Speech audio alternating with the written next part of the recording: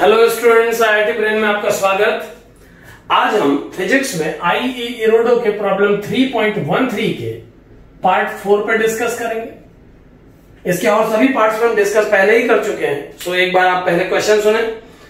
A thin straight rod of length two A carrying uniformly distributed charge Q is located in vacuum find the magnitude of electric field strength as a function of distance R from the rod's center along the straight line coinciding with the rod's direction at the point lying outside the rod.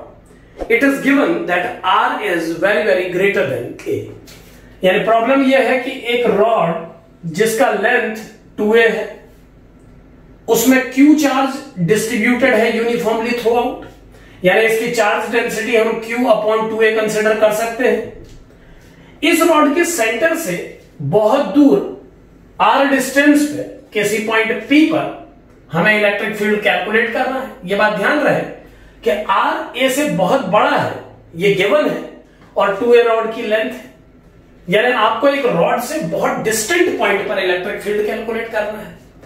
So simple problem है basic electric field के फॉर्मूले से calculate किया जा सकता है। तो कैसे करेंगे एक बार देखें कि P पॉइंट से x डिस्टेंस पे अगर मैं इस रॉड में एक छोटा सा एलिमेंट कंसिडर करूँ तो उस एलिमेंट का लेंथ हम dx कंसिडर करेंगे। इस छोटे से dx लेंथ के एलिमेंट में जो चार्ज का मैग्नीट्यूड होगा वो लेमडा dx होना चाहिए। और चूँकि ये लिमिटिंग कंडीशन में और एक स्मॉलेस्ट एलिमेंट के रूप में कंसिडर किया गया है तो मैं इसे एक पार्टिकल एज्यूम कर सकता हूँ।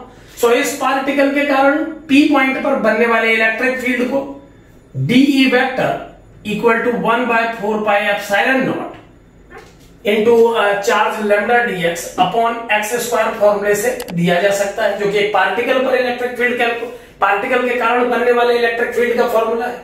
सो so, इस फॉर्मूले को अगर हम इस रॉड को कंप्लीट कवर करते हुए इंटीग्रेट कर दे तो हमें इस रॉड के कारण पी पर इलेक्ट्रिक फ़ील्ड का वैल्यू पता लग जाएगा। इस कंप्लीट रॉड को कवर करने के लिए हमें एक्स की वैल्यू को आर माइनस ए से आर प्लस ए तक वैरी कराना होगा। ये हम देख पा रहे हैं कि सेंटर से नापी गई पी तक डिस्टेंस आर है। तो आर से ए को माइनस करने पर इस कॉर्नर से पी तक डिस्टेंस आ जाएगा और आर में ए को प्लस करने पर second corner so R minus A से आर प्लस ए की लिमिटिंग कंडीशन के बीच में अगर हम इस इंटीग्रेशन को सॉल्व करें तो हमें इलेक्ट्रिक फ़ील्ड मिल सकता है इस रॉड के कारण। तो क्या आ जाएगा एक बार देखें, उस इलेक्ट्रिक फ़ील्ड का वैल्यू आ जाएगा one upon four pi epsilon naught lambda into X to the power minus two D X और आप जानते हैं कि एक्स की माइनस टू पावर का इंटीग्रेशन एक्स की power minus one by minus one होगा। सो मैं उसे माइनस वन बाय एक्स कह सकता हूँ। आर माइनस ए से आर प्लस ए की लिमिट के बीच में इसे सॉल्व किया जाना है। तो माइनस को बाहर लेकर के अगर मैं इस इंटीग्रेशन में लिमिट पुट करूँ फाइनल आंसर में तो ये बन जाएगा minus one upon four pi epsilon naught one upon R plus A minus one upon R minus A मैंने अपर लिमिट और लोअर लिमिट को एक्स के प्लेस पर कोट किया है। अब इसे सॉल्व करने पर हमें फाइनल रिज़ल्ट मिल रहा है। One upon four pi epsilon naught minus R square minus A square और एलसीएम लेने पर यह बन जाएगा। आर माइनस ए इस प्लेस पर और माइनस के बाद आर प्लस ए तो दोनों को माइनस दे दिया है। क्योंकि minus R plus A is minus R minus A ना इसे सॉल्व करने पर यह बन जाएगा electric field vector magnitude equal to one upon four pi epsilon naught minus को हम यही रहने देते हैं अभी और इनसाइड टर्म है minus two A upon R square minus A square so एक लेमडा का टर्म यहाँ पर छूट रहा है मैं इसे यहाँ पर वापस लिख रहा हूँ. सो so, ये बन जाएगा minus lambda upon four pi epsilon naught minus two A upon R square minus A square direction को हटा दिया गया है मैग्नीट्यूड के लिए।